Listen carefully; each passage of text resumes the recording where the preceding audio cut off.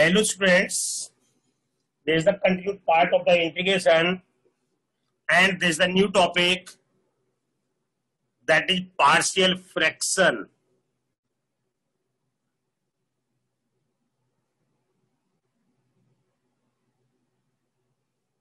What do you mean by partial fraction? What do you mean by partial fraction? देखिए ध्यान से हमने पहले लोअर क्लास में हमने देखी है, one by two plus one by three को कंबाइन किया है। तो इसका एल्शियम क्या होता है? Two into three two into three that mean two into three को डिवाइड किया टू से that is three plus two then this equal to five upon two into three हमने इसको कंबाइन कर दिया सिंपली प्लस कर दिया, one by two plus one by three को प्लस कर दिया। Answer is five upon two into three यदि वापिस हम, यदि क्या हम इसको वापिस इस फॉर्मेट में लिखना five upon two into three को वापिस एडिशन फॉर्म में लिखना then that is called partial fraction इसको हम पार्शियल फ्रैक्शन कहते हैं। यानी सेपरेट करना अलग अलग पार्ट में डिवाइड करना that is called partial fraction it means ध्यान से देखिए आप, मुश्किल नहीं है। स्टेप बाय स्टेप, एक क्वेश्चन समझ में आ जाएगा तो सारे क्वेश्चन समझ में आ जाएँगे। तो पहली टाइप पहली type integrate d x upon x minus one x minus two integrate d x upon x minus one into x minus two यानी इसका मतलब जो डिनोमिनेटर है अब यहाँ पे दो मेथड हो जाएँगे।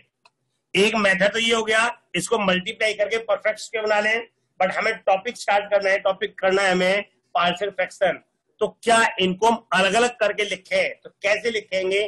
ध्यान से। It me consider one upon x minus one x minus two अपनी तरफ़ से सेपरेट करके लिख दीजिए। अब a upon x minus one plus b upon x minus two हमने सेपरेट करके लिख दिया। A upon x minus one plus b upon x minus two but the question how to find the value of a and b always याद रखिए always multiply both side with the denominator of the left side जो left side में जो भी denominator है, उससे दोनों side multiply कर दीजिए अब तो multiplying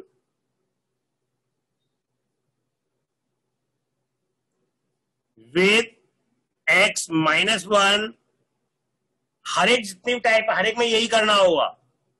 This implies one is equal to a अब एक्स माइनस वन तो कैंसिल हो जाएगा। A into x minus two plus b into x minus one one equal to a into x minus 2 plus b into x minus 1. It means when we separate x minus two a plus b x minus b it me by comparing the coefficient of x and constant term it me on comparing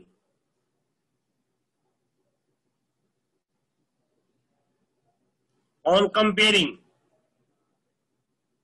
coefficient of x अब x से coefficient compare करते हैं तो left में तो है नहीं. Zero right right में यहाँ पर भी है, यहाँ पर इसका मतलब क्या आएगा? A plus b equal to zero this the first equation a plus b equal to zero compare constant term compare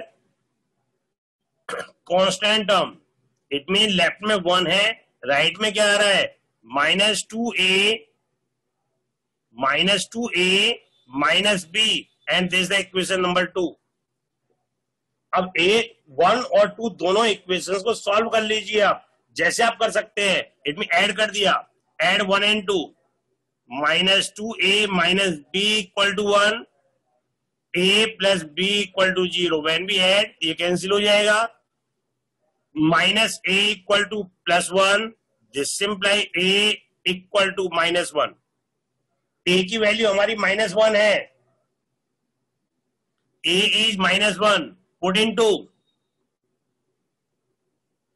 it mean तो क्या आएगा put in one not two one it means minus one plus b equal to zero this implies b equal to 1 the value a equal to minus 1 and the value of b equal to 1 तो therefore passive fraction क्या होंगे हमारे इसका मतलब हमने जहाँ put कर दीजिए आप one upon x minus one x minus two equal to minus one upon x minus one plus one upon x minus two एक बार फिर देख लीजिए रिपीट कर रहा हूँ मैं।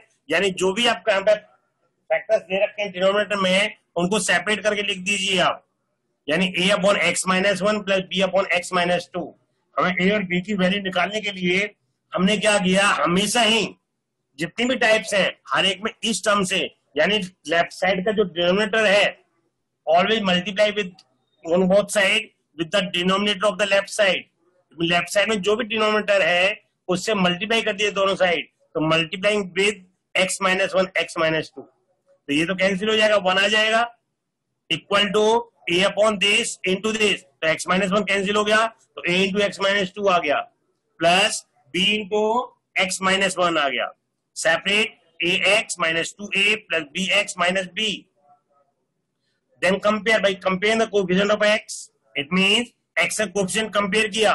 इधर तो है नहीं तो ज़ीरो आ गया। इधर ए है, इधर b a plus b equal to zero this the one compare constant term it means इधर वन है तो ये वन आ गया। Equal to minus two a minus b अब वन और टू दोनों को सॉल्व कर दीजिए आप। जैसे आपने टेंथ क्लास में सॉल्व किया था, उसमें में सॉल्व कर लीजिए आप। Minus two a minus b equal to one a plus b equal to zero when we add b cancel हो जाएगा. तो minus two a plus a minus a equal to one तो a equal to minus one by putting value equal to minus one either in one or in two that's your choice किसी में put कर लीजिए आप. Either in one or in two it may put in one it may ban me put in one तो one minus one plus b equal to zero तो B equal to one आ गया. It mean then by putting a and b यहाँ put कर दीजिए आप. It means 1 upon x minus 1 x minus 2 equal to minus one upon x minus one plus one upon x minus two अब ध्यान से देखिए, यदि मैं इसका एल्सियम लेता हूँ, यदि मैं इसका एल्सियम लेता हूँ तो इट मीन बिल्कुल सेम यही आएगा। आप सॉल्व करके देख सकते हैं आप। इट मीन इनको कहते हैं पार्शियल फ्रैक्शन अभी पार्शियल फ्रैक्शन तो हो गया बट इंटीग्रेट नहीं हुआ है। आप take integration sign on both side दोनों साइड इंटीग्रल साइन ले लीजिए आप। It be this implies integration of one upon x minus one x minus two into d x then this equal to minus one upon x minus one into d x plus one upon x minus two into d x दोनों side हमने integration sign डाल दिया। दोनों side integration sign इधर भी डाल दिया। इधर भी सेपरेट कर दिया, दोनों पे इंटीग्रेशन साइन सेपरेट कर दिया। It will minus one upon x minus one into dx plus integration of 1 upon x minus 2 into dx. It means then this equal to अब यहाँ पे देखिए ध्यान से, इसको पार्शियल फ्रैक्शन से हो गया हमारा। इट मींस ये क्या होगा? F dash x upon f x कह सकते हैं, या फिर वन अपॉन एक्स का होता है लॉग एक्स वो यूज़ कर सकते हो आप। मर्ज़ी है but we are using f dash x upon f x x minus one का डेरिटिव वन होता है एक्स माइनस टू का डेरिटिव वन होता है। It mean answer is minus log of x minus one plus log of x minus two plus some constant c it mean log m minus log n log m minus log n then that is log of x minus two upon x minus one plus some constant c Take one more question. Based on the same type, integrate x upon x plus 1 x plus 2 into dx integrate x upon x plus 1 into x plus 2 into dx in similar way consider x upon x plus 1 x plus 2 equal to a upon x plus 1 plus b upon x plus 2.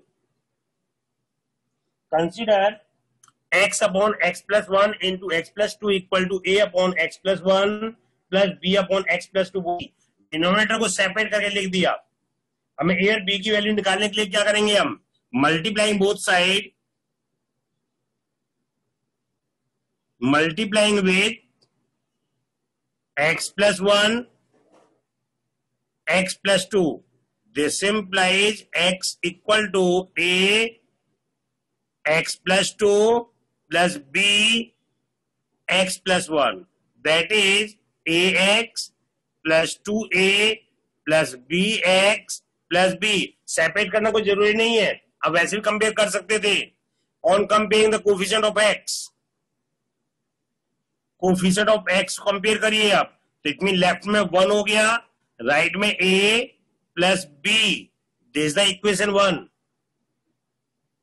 constant term compare constant term it mean क्या आएगा? Two a zero equal to two a plus b this the number two क्योंकि आपको left side में constant term है ही नहीं। जब है ही नहीं तो वो ज़ीरो आ जाएगा। यानी zero equal to two a plus b अब दोनों को सॉल्व कर लीजिए आप। A plus b equal to one two a plus b equal to zero subtract minus minus minus. ये कैंसिल हो गया तो ए की वैल्यू माइनस वन आ गई। As minus one fourteen two तो बी इक्वल टू टू आ गया। A equal to minus one d equal to two there four x upon x plus one x plus 2 equal to 1 upon x plus 1 plus 2 upon x plus 2. a upon x plus 1 plus 2 upon x plus 2. Then integrate. This implies x upon x plus 1 x plus 2 into dx. This equal to integration of one upon x plus one d x plus two constant outside one upon x plus two into d x then this equal to log of x plus one plus twice of log of x plus two plus c आप इसको यहाँ भी छोड़ सकते हैं, लेकिन आगे और भी कंबाइन कर सकते हैं इसको हम। आगे कंबाइन करते तो कैसे करते हैं हम? इसमें पहले हम देखिए n log m log m power n हो जाता है। It mean then this equal to log x plus one plus log of x plus two square plus c log m plus log n क्या होता है? Log M into N होता है। Log of x plus one x plus two square plus some constant c दोनों ही correct है but जितना solve कर सकते हैं, उतना ज़्यादा बेटर है। ये भी ठीक है, ये भी ठीक है। जो आपको ठीक लग रहा है, वो आप कर सकते हैं।